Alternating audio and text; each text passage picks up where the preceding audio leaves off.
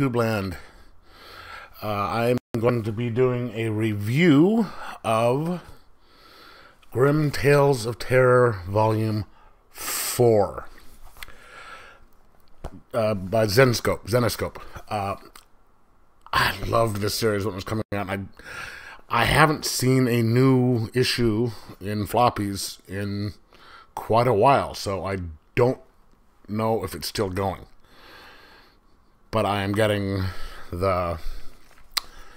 Hopefully, trying to get all the collections here in trade, and this is actually a hardback.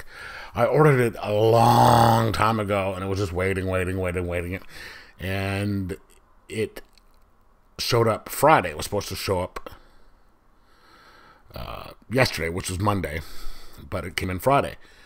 And so read it, just finished it up this morning, and wow. It is. These stories are so interesting.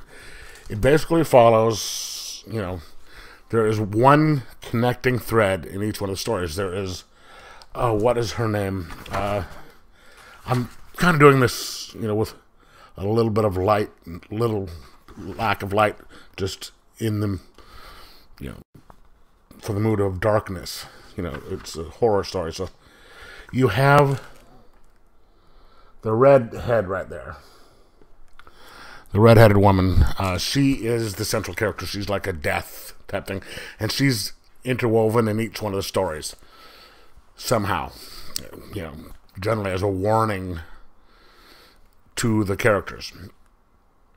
Uh, there's, I think, what? How many different? Yes, there are thirteen different issues in this uh, book. Uh, all horror stories with a little unique twist. Some of them are riffs on urban legends, like uh, getting a chain letter There's something on the Bermuda uh, Bermuda Triangle. You get things about like these, you know, super fancy ones uh, called off the menu, where it's a super fancy restaurant where you find out what's really on the menu for these people. Um, and they're all you know fairly short, but very well done, and the art is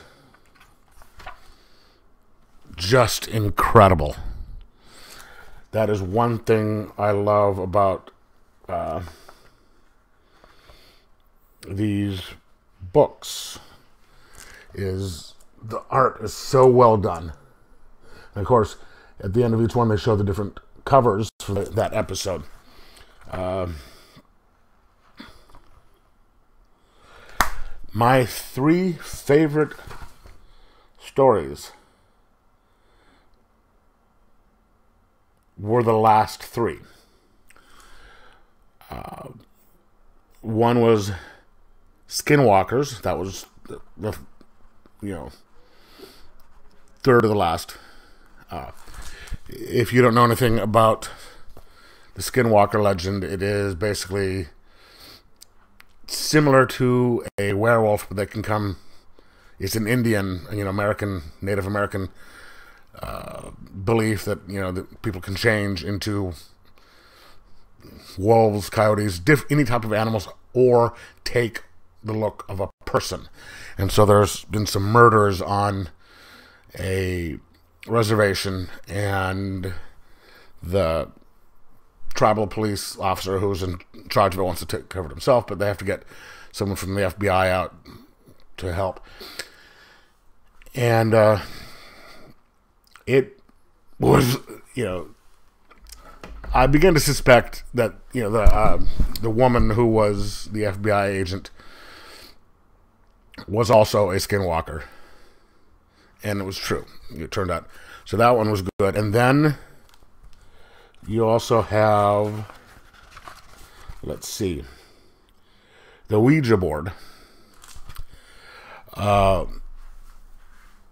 it's, you know, it starts out innocuous enough, just about, you know, some guy sitting there t- recounting a story about his buddy who could pick up any girl at a bar, right?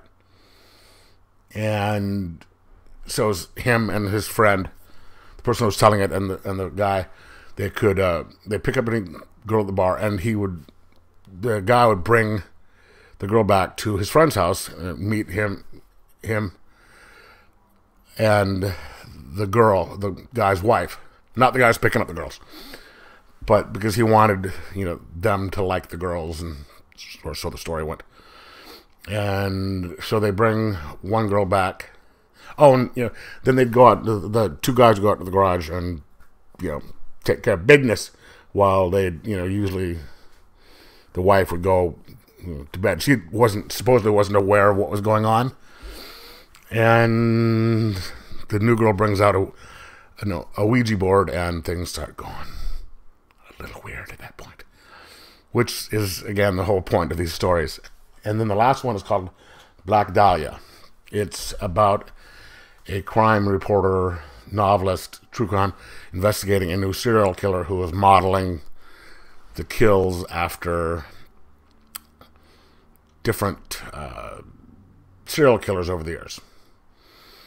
And that one was very, very well done.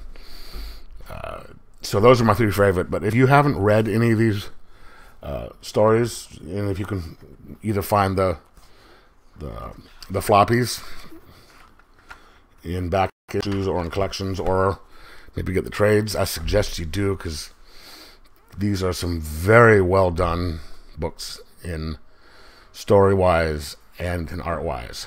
So, anyway, I'm going to give this a 4.0 out of 5. And uh, let me know down, down in the comments below whether you've read these before, whether you like them or not, and uh, enjoy your